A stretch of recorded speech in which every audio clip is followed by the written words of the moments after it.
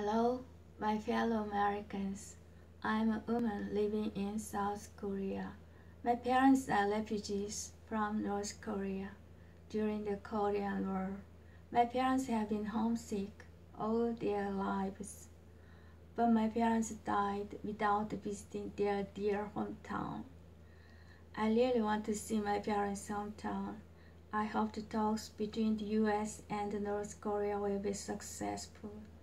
Please pray for Korea.